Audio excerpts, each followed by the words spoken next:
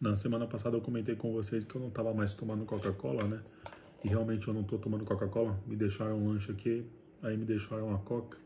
Lembrei disso, eu quis trazer um vídeo para vocês, né? E galera, quem me conhece sabe que eu gosto muito de Coca-Cola, mas eu estou evitando a tomar. Até uma coisa que a Coca-Cola mudou bastante foi a tabela nutricional dela, né? Melhorou muito. Mesmo essa Coca que não é a zero, ela já não é mais tão agressiva. Se vocês forem ver, ó, a Coca tem 85 calorias somente. Então é bem pouco.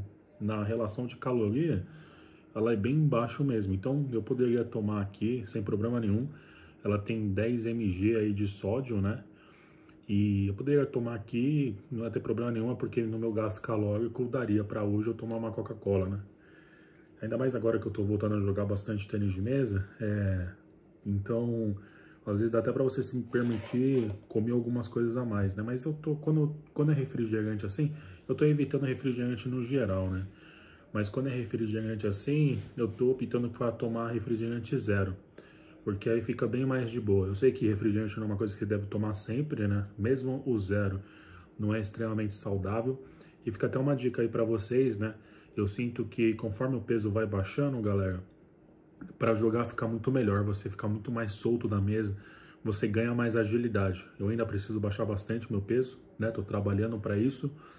Mas essa questão do refrigerante é uma coisa muito importante, principalmente para quem gosta muito, né? Para quem curte. Na real, nunca ouvi alguém falar que não gosta da Coca-Cola, que acha o gosto ruim. Eu já vi as pessoas falarem que, ah, tanto faz, tipo, consegue ficar sem tomar de boa. E tem gente que é viciada, né? Que toma cara, uma ou duas garrafas dessas daqui por dia. Tem gente que, pessoal, é almoço e janta Coca-Cola, viu? Isso aí tem que tomar bastante cuidado. Vocês nunca podem substituir água por refrigerante, independente de ser zero ou não. E então, hoje em dia, eu já não tô mais tomando tanto o refrigerante, né?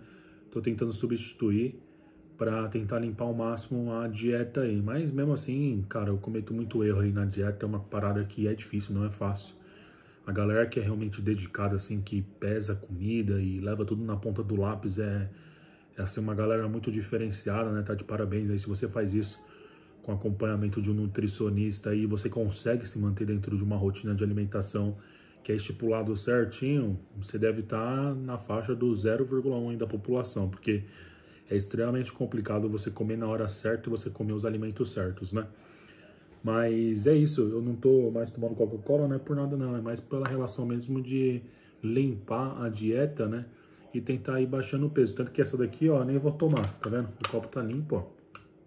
Nem vou tomar, né? Já foi rachado ali, mas eu nem, nem vou tomar, vou me manter com a dieta limpa. Poderia tomar, porque 85 calorias é bem pouco. É bem pouca coisa. Cara, um prato normal aí, eu não vou saber falar de cabeça, né?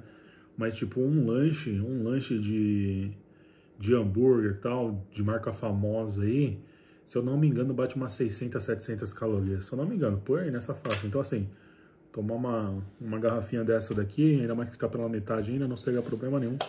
Mas para não facilitar, né? Se fosse zero, eu até tomaria essa garrafinha de 600 ml. Mas como não é zero, então eu vou passar para a próxima para fazer isso na dieta. Então é por isso que eu não estou mais tomando refrigerante no geral, né?